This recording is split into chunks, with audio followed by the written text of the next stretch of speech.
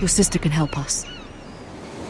Although just a handmaiden, she has Margaery Tyrell's favor. And Lady Margaery's betrothal to the king may be enough to keep the Boltons at bay. If it's presented to her as it should be.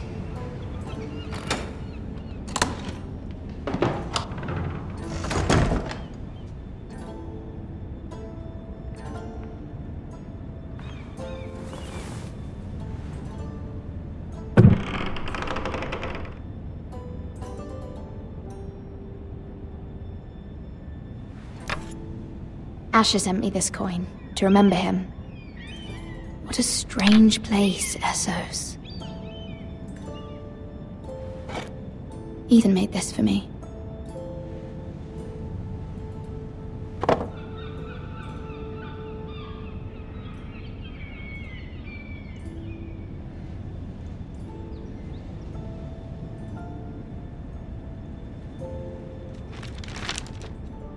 Father, much excitement here in King's Landing for the coming wedding. Lady Margaery has proven to be quite popular throughout the city. I do wish you and Mother could come, although I know it would be impossible under the circumstances. I miss all of you, and I look forward to the day you can.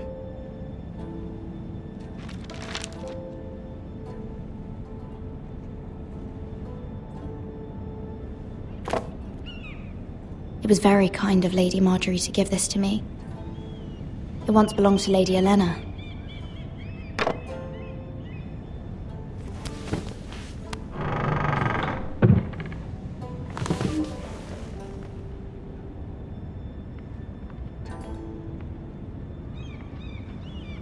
Wonders Made by Man by Lomas Longstrider. A gift from Rodrik. I hope to see them all someday.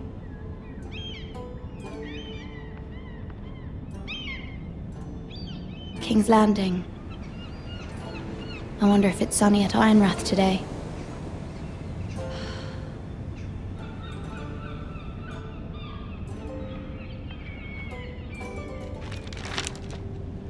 It troubles me to even ask this of you, but you must appeal to Lady Margaery to intervene on our behalf.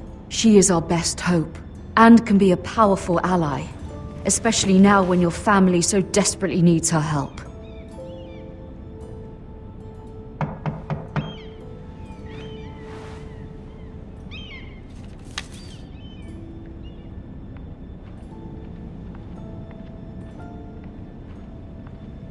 One moment.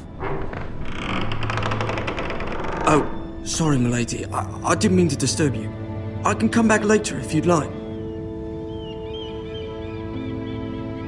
No, it's fine. Come in.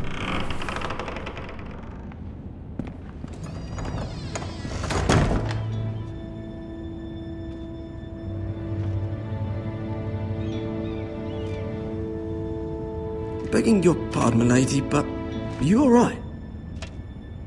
If you don't mind my asking, you seem rather upset. I'm fine, thank you. Of course, milady. Please hurry if you can. Lady Margaery will be here any minute. Of course, milady. You work for Lady Margaery? I may be wrong, but it seems like you do. It's widely known that I work for Lady Margaery. I've seen you with her before. You seem like good friends. I saw Lady Margaery just this morning, outside the Royal Sept, talking to Queen Cersei. Cersei?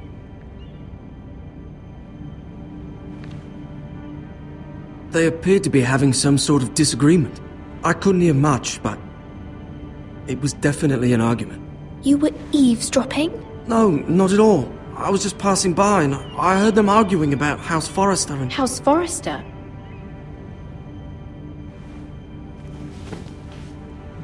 I thought you'd like to know. Forgive me if I was mistaken. I hope you're not in any kind of trouble. Most people don't tend to notice a call boy. Not in King's Landing, with so many lords and ladies about. You see and hear all sorts of things when people don't even know you're there. Good night, milady.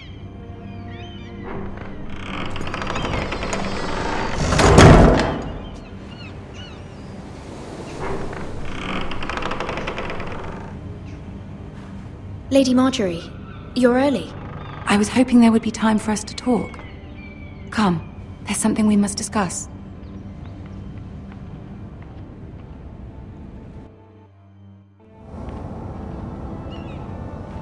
From the day you arrived in Highgarden, I've thought of you more as a friend than as my handmaiden. A dear friend, in fact. Thank you, my lady. And you know how I feel about what's happened to your family. I feel your pain as if it were my own. What you've suffered is beyond imagining. And your poor family as well. My family wrote me, my lady. I don't doubt they must be overcome with grief. But you must not despair. We will get through this together. You must understand there are limits to what I can say, especially here in King's Landing, now that I am to be queen. To have a handmaiden from the north whose family fought for Robb Stark. It raises questions at a time I can least afford. Cersei herself cornered me this morning outside the Royal Sept. She mentioned the Northern girl in my service, and she painted you a traitor. She was very pleased with herself. Her face was full of mirth as she said it. I'm not a traitor. Of course not. It's only an excuse to torment you, and by extension, me.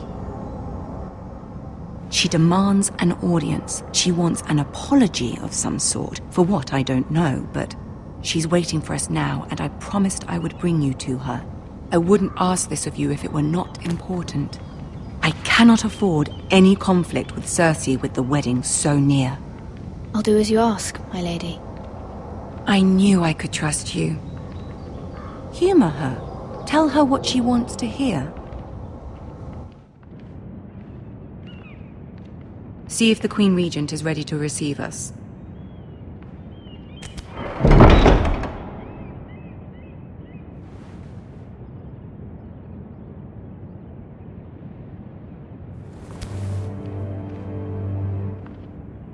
You'll be fine. I know you will.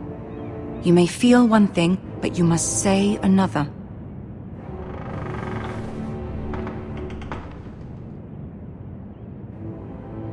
Good luck.